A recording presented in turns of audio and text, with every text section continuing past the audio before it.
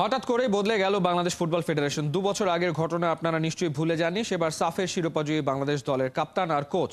সংবাদ সম্মেলনে বসার জায়গা পাননি, কিন্তু সেদিন আর নাই।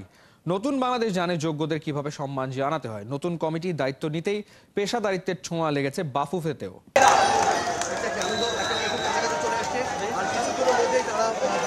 একটা